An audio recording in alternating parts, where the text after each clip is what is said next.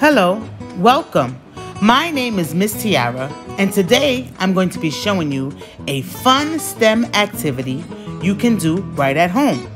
Today I'll be showing you how to make a Lego marble maze.